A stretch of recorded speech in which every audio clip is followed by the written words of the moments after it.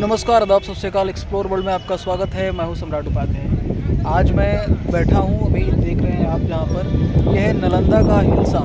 जगह जो है काफ़ी फ़ेमस है नालंदा में। नालंदा एक ज़िला है, जो कि बिहार में आता है। और यहाँ पर जो चीज़ मैं दिखाने वाला हूँ, काफ़ी फ़ेमस है, जिसका नाम है सूर्य मंदिर। हिलसा में स्थित है ये। और आज मैं इसे एक्सप्लोर करने वाला हूँ अपने चैनल एक्सप्लोर एक्सप्लोर वर्ल्ड पे। आइए देखते हैं नालंदा का सूर्य मंदिर कैसा है? काफ़ी फ़ेमस है। क्या कुछ है देखने को?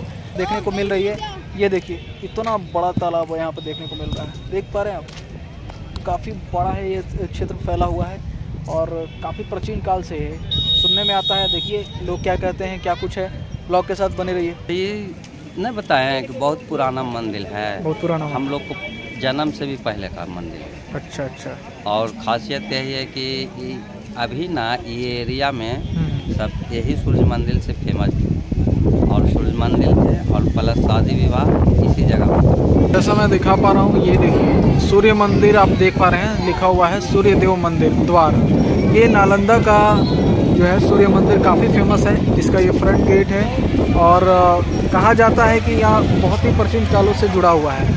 ये देखिए, यहाँ पे मंदिर आपको दिख रहा है।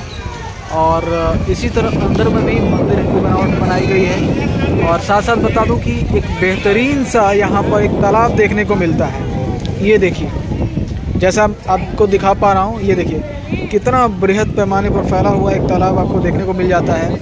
काफ़ी फ़ेमस है ये। ये देखिए, एक अलग सा ही वाइब यहाँ पर आपको देखने को मिल जाता है। ये नालंदा हिल्सा में स्थित है।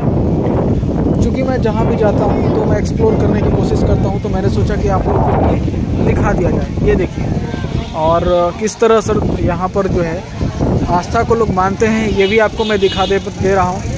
सामने देखिए, ये सूर्य भगवान की प्रतिमा आपको देखने को मिल जा रही है। ये देखिए उनका फ्रंट गेट है, अंदर में सूर्य भगवान की प्रतिमा जो है, आपको देखने को मिलेगी। और ये देखिए, लोग आपको पूजा करते हुए नज़र आएँगे। ये देखिए। देख पा रहे हैं। लोग इस तरह पूजा करते हुए नज़र आएँगे।